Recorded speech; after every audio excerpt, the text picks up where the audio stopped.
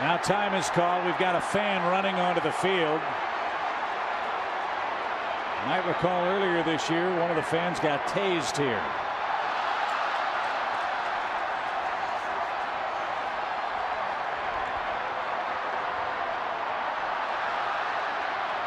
Hey, and Matt Diaz comes over and issues a body block and helps the security people take that fool down. Outstanding.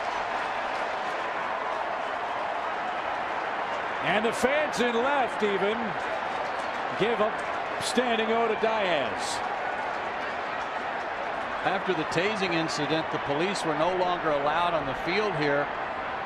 And the security people have to track this guy down. I haven't seen a security guy yet that's in real good shape here in Philadelphia. So this guy gets blindsided by the Braves outfielder.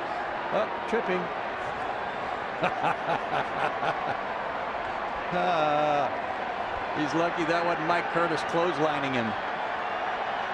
And that's the only reason we're showing this idiot was to show.